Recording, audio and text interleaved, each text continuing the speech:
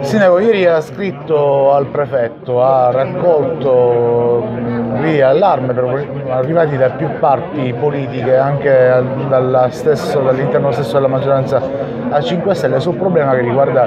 Piazza San Giovanni, da tutti definito ormai una vera e propria emergenza? Beh, sicuramente è una situazione su cui bisogna non sicuramente abbassare la, la guardia, bisogna mantenere l'attenzione. Devo dire che già le forze dell'ordine hanno eh, fatto vari interventi in questo, insomma anche negli ultimi giorni sapete sono state una serie di operazioni, di arresti proprio per, per spaccio di droga, quindi si tratta comunque di una situazione che viene monitorata. Quello che chiaramente ho chiesto al prefetto è una riunione in prefettura urgente, insomma, per proprio discutere, di verificare anche insieme quali sono altre soluzioni che si possono possono eh, determinare per, perché questa zona che è oggi diventata un punto di riferimento per tanti cittadini, per i turisti, non, non sia una zona che poi abbia a lamentare episodi di criminalità o episodi di intransigenza o, o violenza, risse e quant'altro. Quindi è chiaro che in questo senso noi abbiamo fatto già un lavoro importante per, con la videosorveglianza, tutta quella zona è videosorvegliata, quindi eh, l'elemento fondamentale in questo senso noi l'abbiamo già messo in atto. Adesso servirà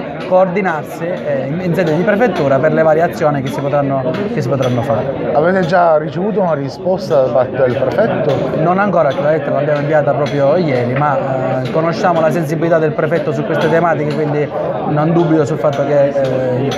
farà questo tipo, questa riunione e quindi che potremo avere un tavolo dove discutere in dettaglio di questa problematica. Una delle lamentele che arriva da alcune parti politiche e anche alcune parti della società civile è quella che mancano gli spazi per alcune cose cose, mancano gli spazi per i ragazzini, mancano gli spazi dove affrontare il disagio sociale. Eh, quello dei ragazzini per esempio è un problema che abbiamo anche sollevato noi, le multe fatte ai genitori perché i ragazzini giocano a palla. Insomma, su questo aspetto l'amministrazione cosa intende fare? Ma il centro storico purtroppo vive una problematica che è quella della carenza degli spazi di, di aggregazione, quindi l'unico spazio di aggregazione sono le piazze, e quindi sia Piazza San Giovanni che Piazza Poste sono sempre oggetto di, di interventi. Però devo dire che su questo noi abbiamo fatto una serie di interventi, per esempio su Piazza Poste eh, sapete che ci sono degli skateboard, dei, degli amanti dello skate che la utilizzano e su quello abbiamo pensato allo skate park proprio per dargli una struttura a disposizione dove possono eh, praticare questo sport. Così come per esempio sul discorso del,